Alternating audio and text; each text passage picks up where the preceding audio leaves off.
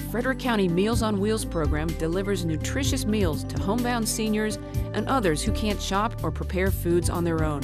Sometimes the only smiling face a senior may see during the day is that of a Meals on Wheels volunteer.